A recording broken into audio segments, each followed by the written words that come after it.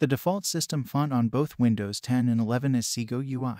However, you have the option to personalize your system by changing the font to one of your liking. This simple task can give your system a fresh and updated appearance, making it feel new and invigorating. Before proceeding, it's crucial to identify and make a note of the precise name of the font you intend to use as the system font. Open the Run dialog box and go to the font's location.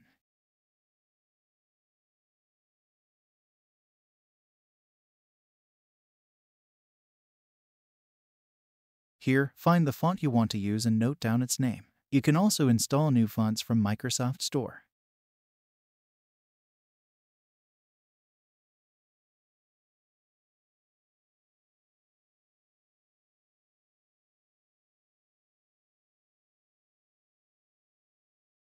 I'm going to use the Calibri font myself.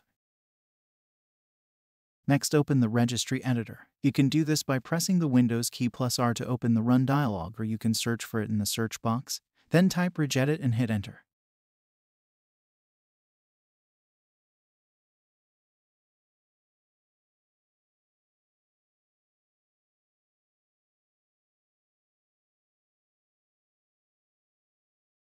Once the registry editor is open, navigate to the following folder.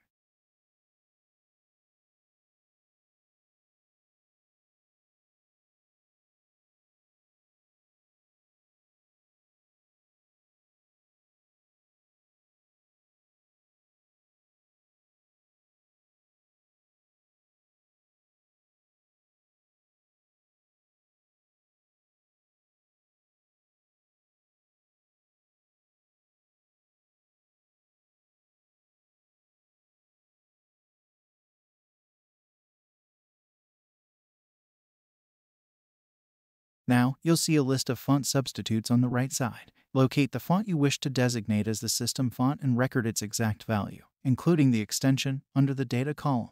For instance, if you wish to use Calibri as your new system font, make sure to note it down. The next essential step involves backing up the registry. Instead of creating a comprehensive backup, we'll focus on backing up the specific keys. This method allows for easy restoration when you decide to revert to the default system font.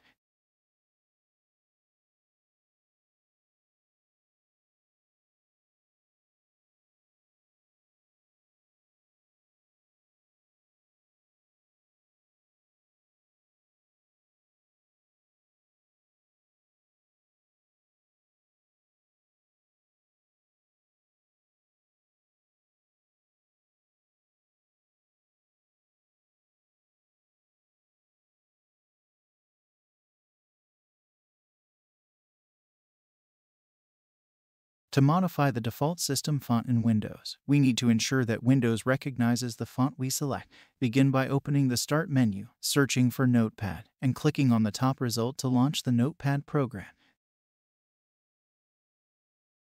Copy and paste the following script into Notepad, replacing your font name with the name of the font you desire, including its extension.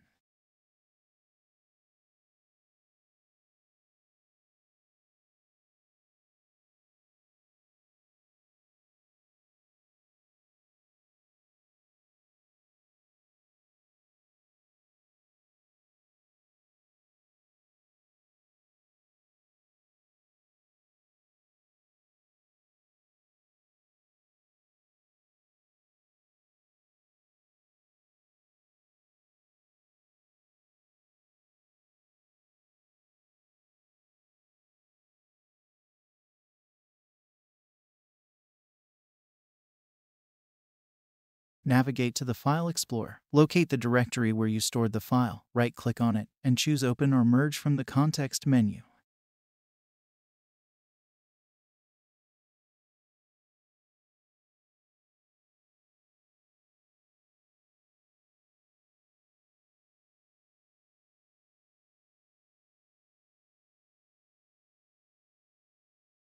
Finally, reboot your PC to implement the changes.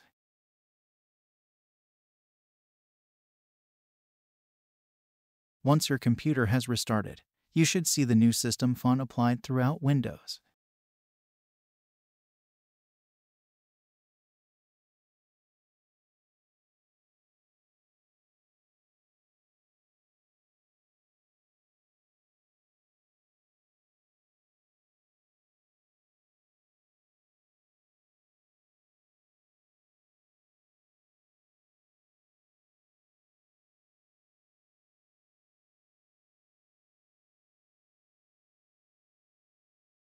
To return to using the default system font, simply access the backups you created earlier and open or merge them. This action will restore the original font settings, reverting your system to its default configuration. After that, restart the system.